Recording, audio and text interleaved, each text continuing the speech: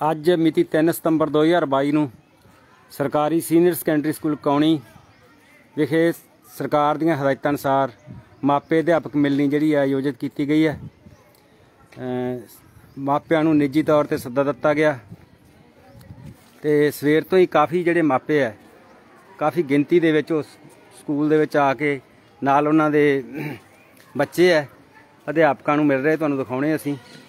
ਤਾਂ ਜਿਹੜੀ ਮਾਪੇ ਅਧਿਆਪਕ ਮਿਲਣੀ ਹੈ ਇਹ ਬਹੁਤ ਜ਼ਰੂਰੀ ਹੈ ਹਰ ਸੰਸਥਾ ਦੇ ਲਈ, ਚਾਹੇ ਉਹ ਸਰਕਾਰੀ ਹੈ, ਪ੍ਰਾਈਵੇਟ ਹੈ ਈਵਨ ਕਾਲਜਾਂ ਦੇ ਵਿੱਚ ਵੀ।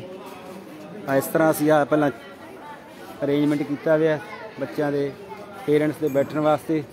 ਪੇਪਰ ਉਹਨਾਂ ਦੇ ਕੋਲ ਰੱਖੇ ਆ। ਆ ਬੱਚਿਆਂ ਦੇ ਪੇਰੈਂਟਸ ਅਧਿਆਪਕਾਂ ਨਾਲ ਗੱਲਬਾਤ ਕਰਦੇ ਹੋਏ ਉਹਨਾਂ ਦੇ ਪੇਪਰ ਦੇਖਦੇ ਆ। ਸਭ ਤੋਂ ਜਿਹੜਾ ਜ਼ਰੂਰੀ ਗੱਲ ਹੈ, ਇਹਦੇ ਨਾਲ ਸਾਨੂੰ ਬੱਚਾ ਘਰ ਵਿੱਚ ਕੀ ਕਰਦਾ ਉਹਦੇ ਬਾਰੇ ਪਤਾ ਲੱਗਦਾ ਸਕੂਲ ਵਿੱਚ ਕੀ ਕਰਦਾ ਹੈ, ਉਹਦੇ ਬਾਰੇ ਪਤਾ ਲੱਗਦਾ ਤਾਂ ਇਹਨਾਂ ਦੋਨਾਂ ਚੀਜ਼ਾਂ ਬਾਰੇ ਅਸੀਂ ਪੇਰੈਂਟਸ ਨਾਲ ਬੈਠ ਕੇ ਗੱਲ ਕਰਦੇ ਹਾਂ। ਆ ਦੂਸਰੇ ਰੂਮ ਦੇ ਵਿੱਚ ਸਾਡੇ ਪੇਰੈਂਟਸ ਆਪਣੇ ਬੱਚਿਆਂ ਬਾਰੇ ਗੱਲਬਾਤ ਕਰਦੇ ਹੋਏ ਮੌਕੇ ਤੇ ਇਹਨਾਂ ਨੂੰ ਪੇਪਰ ਦਿਖਾਏ ਜਾਂਦੇ ਆ।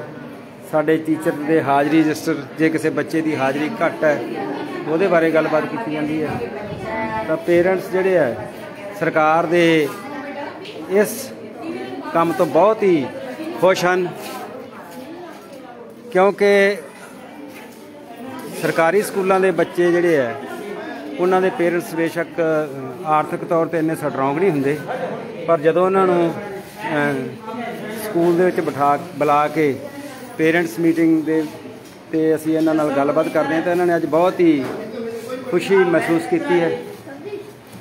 ਤੇ ਮੈਨੂੰ ਲੱਗਦਾ ਵੀ ਅੱਜ ਸਾਡਾ ਜਿਹੜਾ ਹੈ 100% ਪੇਰੈਂਟਸ ਅਸੀਂ, ਸਾਡਾ ਟਾਰਗੇਟ ਹੈ ਕਿ 100% ਪੇਰੈਂਟਸ ਨੂੰ ਜਿਹੜਾ ਅਸੀਂ, ਅੱਜ ਅਸੀਂ, ਚਲੋ ਜੇ ਕੋਈ ਕਿਸੇ ਕਾਰਨ ਰਹਿ ਵੀ ਗਿਆ, ਤਾਂ ਉਹਨੂੰ ਅਸੀਂ ਨੈਕਸਟ ਡੇ ਵੀ ਬੁਲਾ ਸਕਦੇ ਹਾਂ। ਤਾਂ ਇਹ ਸਾਡੇ ਪੁਰਾਣੇ ਵਿਦਿਆਰਥੀ ਦੀ ਸਿਸਟਰ ਹੈ। ਇਹ ਆਪਣੀ ਸਿਸਟਰ ਬਾਰੇ ਪਤਾ ਕਰਨ ਆਇਆ ਕਿ ਕਿਸ ਤਰ੍ਹਾਂ ਪੜ੍ਹਦੀ ਹੈ। ਸੋ ਅੰਤ ਵਿੱਚ ਫੇਰ ਅਸੀਂ ਜੇ ਸਮਾਜ ਨੂੰ ਵਧੀਆ ਬਣਾਉਣਾ ਹੈ। ਤਾਂ ਸਰਕਾਰ ਦੇ ਜਿਹੜੇ ਚੰਗੇ ਕੰਮ ਹੈ, ਉਹਨਾਂ ਦੀ ਪ੍ਰਸ਼ੰਸਾ ਕਰਨੀ ਵੀ ਬਣਦੀ ਹੈ। ਸੋ ਬਹੁਤ ਬਹੁਤ ਧੰਨਵਾਦ।